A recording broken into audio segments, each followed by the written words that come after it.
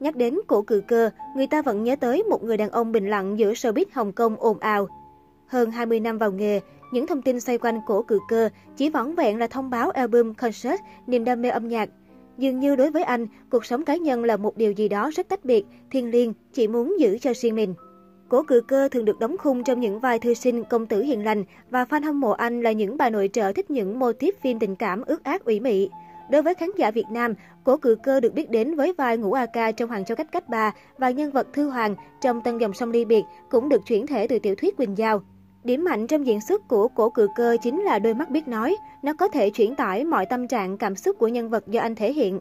Thư Hoàng là một vai khó, được đặt trong mối tình tay ba với hai chị em, Lục Y Bình và Lục Như Bình. Nhưng điều căn bản là người đảm nhận vai này phải vượt qua được cái bóng quá lớn của nam diễn viên gạo cội Tần Hán. Nhưng cổ cự cơ đã không phụ lòng mong đợi của mọi người. Anh được nữ sĩ Quỳnh Giao khen ngợi. Quả thực, tôi rất hài lòng vì đã không chọn nhầm cậu ấy. Về phía cổ cự cơ, anh cho biết, tôi nhận vai Thư Hoàng vì rất thích kịch bản của nữ văn sĩ tài ba này và trong quá trình quay, tôi luôn tự nhắc nhở mình phải làm hết khả năng để đáp lại sự tin tưởng của bà. Sinh năm 1972 tại Hồng Kông, nhưng lên cấp 2, cổ cự cơ đã theo gia đình sang Canada sinh sống. Năm 1991, anh quay trở về quê nhà, gia nhập làng giải trí. Năm 1994, cổ cự cơ ký hợp đồng với công ty đĩa nhạc Impact và phát hành album đầu tiên của mình mang tên Lý lẽ con tim thành công rực rỡ. Có thể nói con đường âm nhạc của anh rộng mở hơn sự nghiệp diễn xuất khi vào năm 2004, anh được nhận giải thưởng Hồng Kông Most Popular Hits of 2004 World, giải thưởng trao cho những gương mặt nổi tiếng có đóng góp to lớn trong lĩnh vực âm nhạc. Tính đến nay, với gần 20 album phát hành đầu năm 2009, cùng với Dương Thiên Hoa, Cổ Cự Cơ vừa được bình chọn là ca sĩ được yêu thích nhất của TVB trong năm 2008. Không chỉ là diễn viên, ca sĩ, kim MC nổi tiếng, Cổ Cự Cơ còn được mệnh danh là nam diễn viên mang trái tim thiên sứ, vì anh là người luôn tích cực trong các hoạt động từ thiện, vận động bạn bè tham gia các hội thiện nguyện, giúp đỡ trẻ em ở các cô nhi viện và tổ chức các buổi picnic ngoài trời cho các trẻ khuyết tật.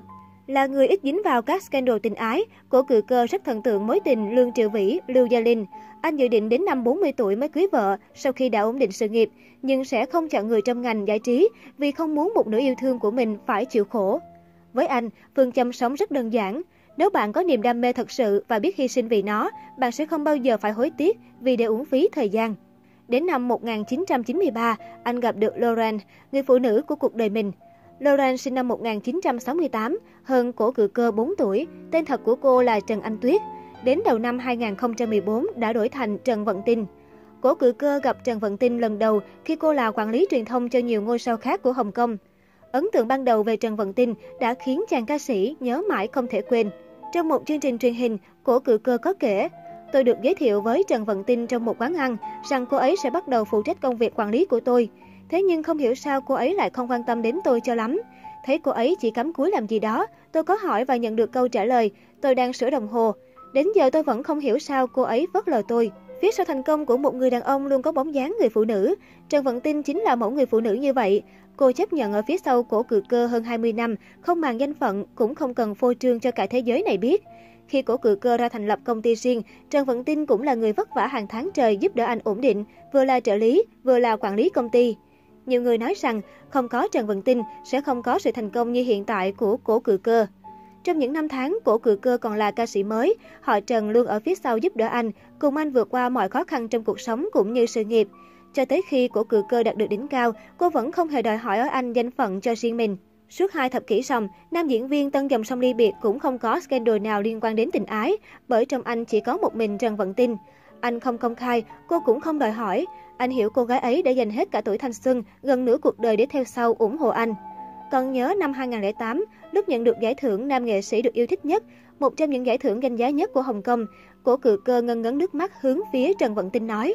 Trước đây khi nhận giải thưởng nam nghệ sĩ mới xuất sắc nhất, tôi đã quên cảm ơn cô ấy. Cô ấy nói không sao cả. Sau này khi anh nhận được giải nam nghệ sĩ được yêu thích nhất thì hãy cảm ơn em. Tôi từng nghĩ bản thân không có cơ hội quay lại buộc trao giải này, nhưng hôm nay cơ hội đã đến. Tôi muốn cảm ơn quản lý của tôi, cảm ơn Lauren. Sau đó, cổ cự cơ xuống hậu trường để tìm Trần Vận Tinh nhưng không thấy cô. Bởi lẽ quá nhiều ống kính hướng về phía mình khiến Vận Tinh lo lắng. Cô đã trốn trong xe ô tô và khóc bởi cảm động. Vào dịp sinh nhật lần thứ 39 ngày 18 tháng 8 năm 2011, cổ cự cơ cuối cùng đã tiết lộ bí mật với mọi người rằng trợ lý Trần Vận Tinh chính là bạn gái của anh suốt 17 năm qua. Đó là lần đầu tiên cặp đôi chụp ảnh cùng nhau khi cổ cự cơ cắt bánh sinh nhật. Thời điểm ấy, nhiều cư dân mạng lên tiếng chỉ trích nhan sắc Trần Vận Tinh, cho rằng cô không hợp với cổ cự cơ. Nam ca sĩ không hề lên tiếng, anh lựa chọn im lặng để bảo vệ cô gái ấy. Thực tế, cổ cự cơ không muốn công khai chuyện tình của chính mình là vì anh sợ những lời chỉ trích của mọi người sẽ khiến cô gái anh yêu chịu tổn thương. Huống chỉ lúc ấy, người ta còn khắc khe với tình yêu của người nổi tiếng, thế nên việc công khai cũng tự như một canh bạc, sợ rằng vì áp lực mà cả hai buông tay. Nếu có ai theo dõi cổ cự cơ, hẳn thấy anh là một người sống tình cảm, không hề nói những lời hoa mỹ hay ngọt ngào, mọi cảm xúc dành cho Trần Vận Tinh đều chất chứa trong các bài hát của anh. Từng câu từng chữ trong Be My Valentine, Để thời gian nói yêu, Chung tình vì em đều là dành cho Trần Vận Tinh. Đến năm 2011, chuyện tình của cổ cự cơ và Trần Vận Tinh cuối cùng cũng đơm hoa kết trái sau hơn 20 năm hẹn hò. Cặp đôi tổ chức lễ đám cưới vào ngày 11 tháng 11 năm 2015 tại Hồng Kông, trong khi trước đó đã đăng ký kết hôn vào ngày 12 tháng 7 năm 2014 tại Las Vegas, Mỹ.